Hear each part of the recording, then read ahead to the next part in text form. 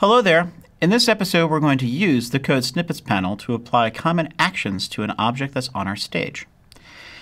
Let's take a look at the project first so we can show you how I set up everything for you to be able to do this on your own. So if you look at the stage, I have this blue square here. The blue square is positioned slightly to the left of the main stage area. I'm doing this purposely because we're going to position the object using ActionScript with the code snippets um, in, the, in the end of the video.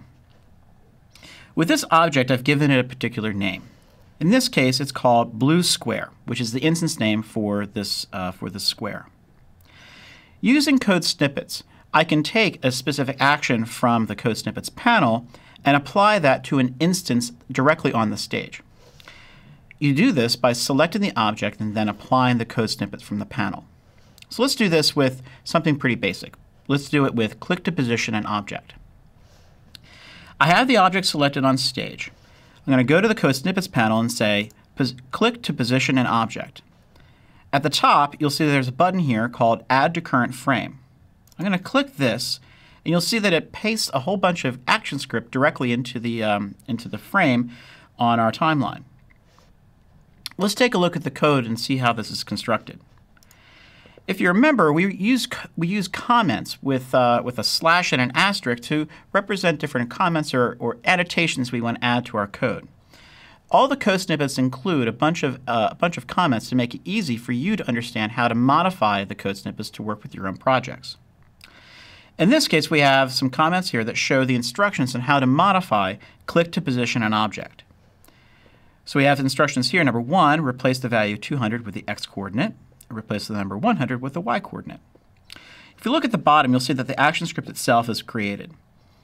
You'll notice that the familiar add event listener, mouse event click, the function that we used before, handling a mouse event coming in from the click handler, returning the void type for this, and then repositioning the x and y coordinate. This is all review that you've been we've done on multiple videos before.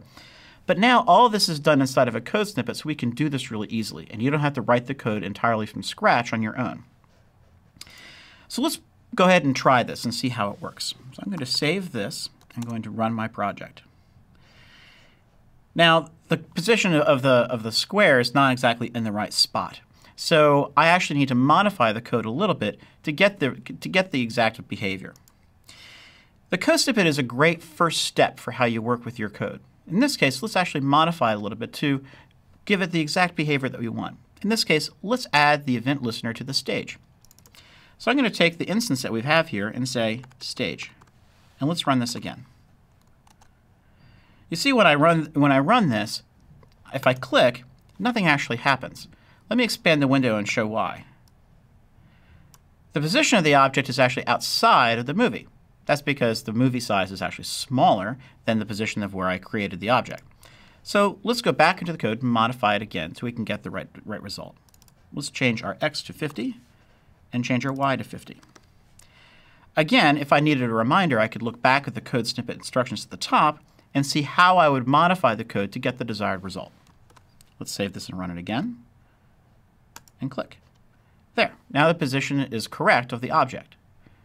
So as you can see, code snippets are a great way to simplify creation of new ActionScript code. And I can use the code snippets to put in a whole bunch of pre-built code and then customize it based on exactly what I want to do on my project. So in the next video, we're going to continue looking at code snippets and start looking at other ways we can provide actions onto the different objects on our stage.